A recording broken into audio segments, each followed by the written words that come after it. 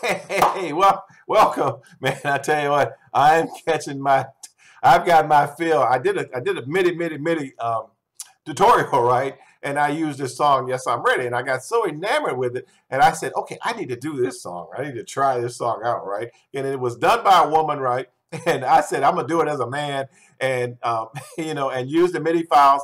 So this is a blend of the MIDI file and also some real tracks that were taken from Band in the Box. So I took some real tracks and some MIDI files. I exported them over into my Sonar because that's where I sing it. I sing in my DAW.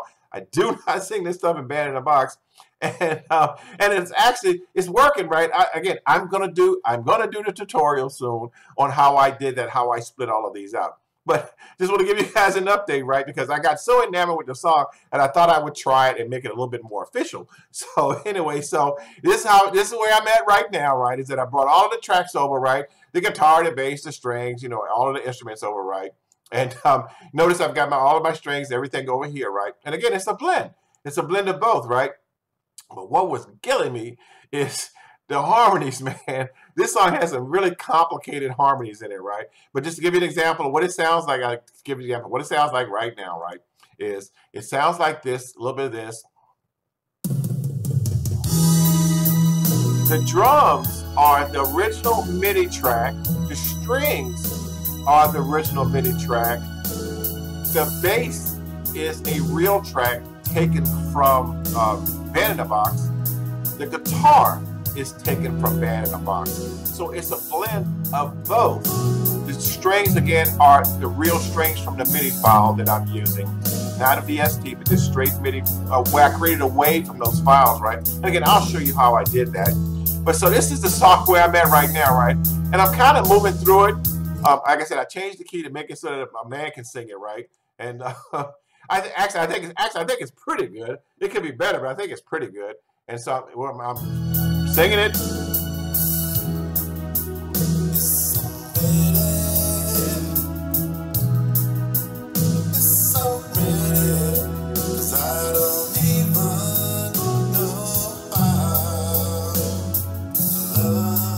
I think it was it was such a great song in the day.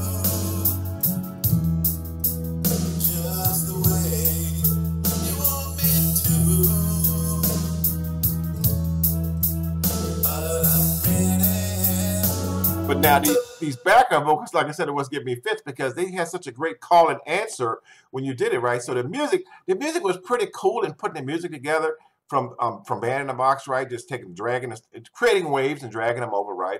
That was pretty good, right? But it's these background vocals that kind of they kind of got me going right now, right? So tons and tons of, of full part harmony, right?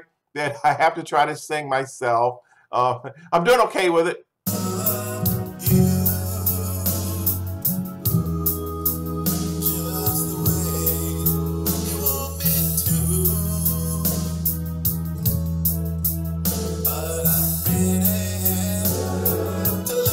That's the background.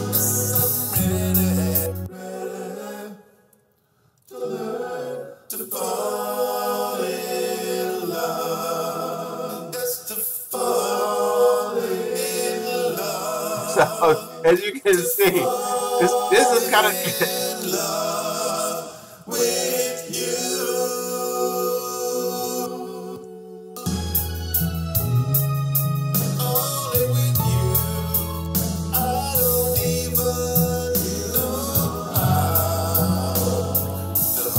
Again, doing these background vocals in this song, it's really got me going. And plus, I'm trying to do it my own way also. Now, if you're not that proficient in background vocals, right, then this is something that you guys can you can work on, you know, because if you notice these background vocals are not exactly following the lead. So it's not this melodyne thing where you just take and drag eh, your, from the lead voice down. No, man, can't do that here. You got to sing that pattern. You got to sing that pattern a little bit differently, right? And again, if I if I go back to listen to the lead vocal and the background vocals, right, you'll see what I'm talking about.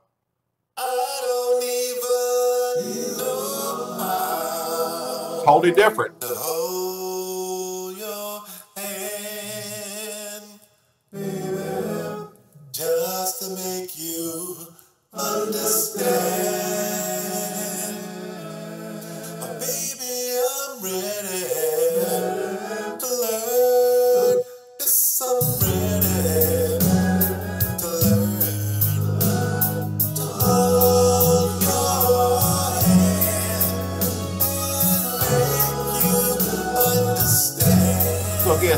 Gotta get it. So I gotta get it. So the background vocals kind of go with the string line. The string line kind of goes with the lead line. The lead line kind of goes with the harmonies and everything. But again, I'm working on it right. I'm just giving you guys a taste of where I'm at with the song, and also just go you just just so you know, I, I'm stumbling right.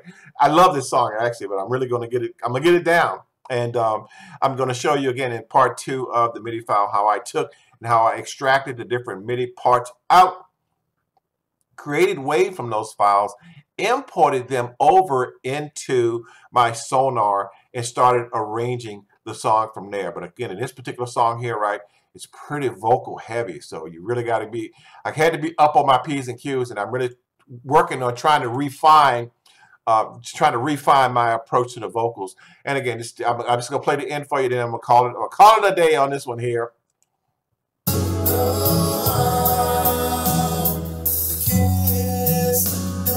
Have space.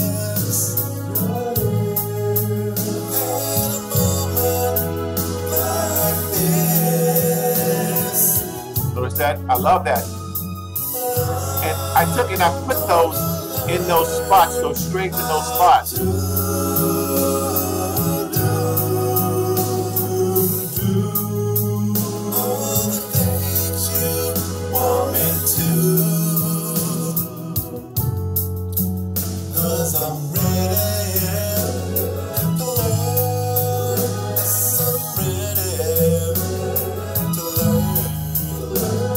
I'm gonna go ahead. I'm gonna go ahead and fade this out, right? I just want to show you guys, just show you where I'm at right now. I'm gonna finish it, and I'm also gonna finish the MIDI tutorial part two to show you guys how I actually put this song together.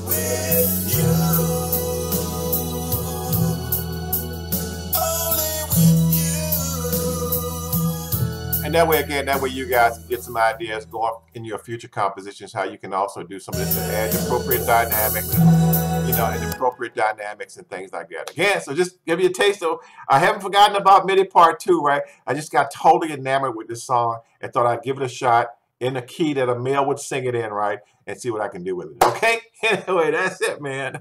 Hopefully, hopefully you can get some tips from what I'm doing here. And again, I'm a big fan, whether it be Sonar or whatever it is, right?